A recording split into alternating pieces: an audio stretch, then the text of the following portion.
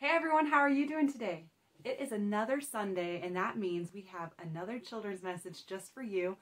And since it's Lent, that also means we have another special story from Carolyn and Connor to help us. I wonder what the story is going to be about this week. Let's see.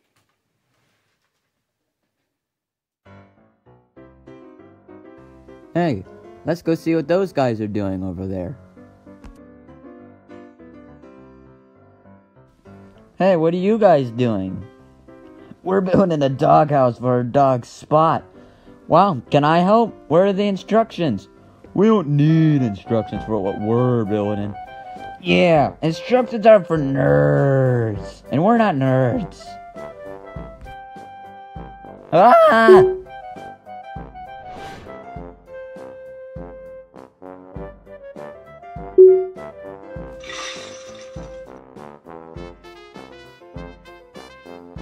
Believe me when I say, I really think you need the instructions. Why would we need the instructions?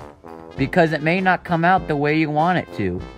Yeah, I'm not sure it's supposed to look like this. Fine, you can help.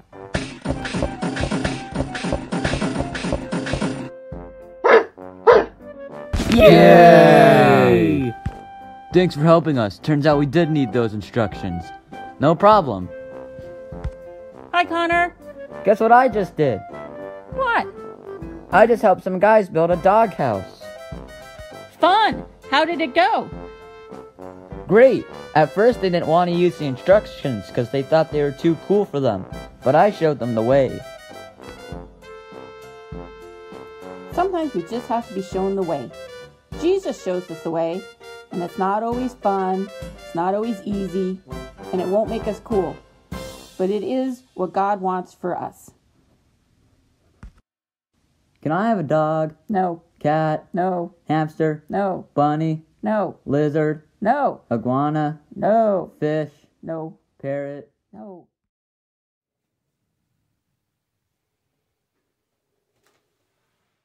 I am so lucky that I have this desk I get to work from. Remember how I was talking about that a few weeks ago? Early on in the pandemic, and I realized I was going to be working from home a lot more, I knew I needed a space to do it all on because I didn't really have a desk. So I found a good deal on this, I ordered it, and I had to put it together myself. It was a really heavy box, and it took a couple hours for sure sometimes there are points in the instructions that just didn't make any sense to me.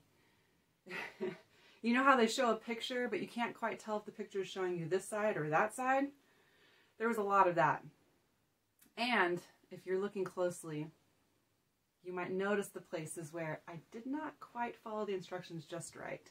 But I followed it enough that I have this great desk to work from now.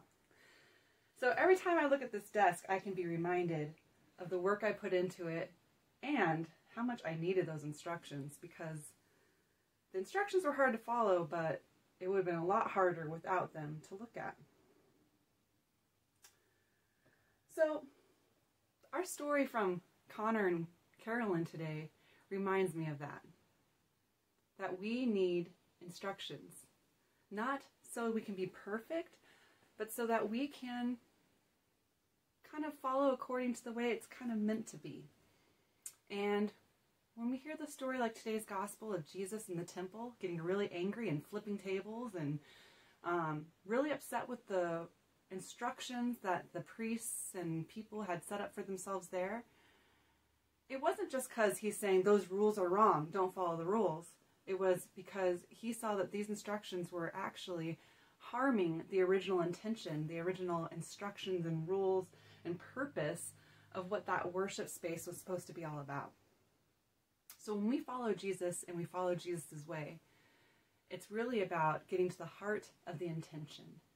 We see the instructions not as a rule to follow perfectly and step by step. If we do it just right, we're going to all have completed it in the most perfect way and we are going to be so great. It has to do with restoration and being returned to our original intention, the way God originally intended us to be and live in relationship with each other, in relationship with God, and in relationship with the world. So when we follow the way of Jesus, sometimes it's going to mean flipping tables, and sometimes it's going to mean following the instructions the best we can to create something that does its job, that God can work through. And you know, that's the cool thing. God will work through any of it, God works through all of it. So today, pay attention to ways that you might be led to follow some instructions, but mostly pay attention to the ways God is leading your life, the instructions, the ways that you are interacting with the Bible, the ways you're interacting with your faith, the ways you're interacting with the people in your life, so that you can be led to the way that God has created you to be. Have a great week, and I'll see you next week.